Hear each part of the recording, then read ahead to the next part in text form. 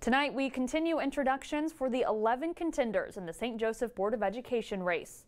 Two people will be chosen to fill seats in the April 4th election. Harold Barr is a retired engineer and real estate investor who owns several pieces of property in town.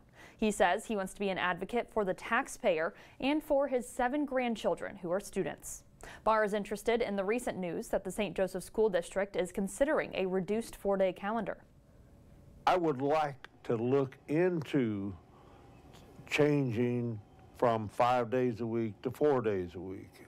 I don't know it's a good idea, but I think it is a good thing to look into. The initial filing period for the school board race has closed. It will reopen briefly at 3 p.m. on Tuesday, December 27th.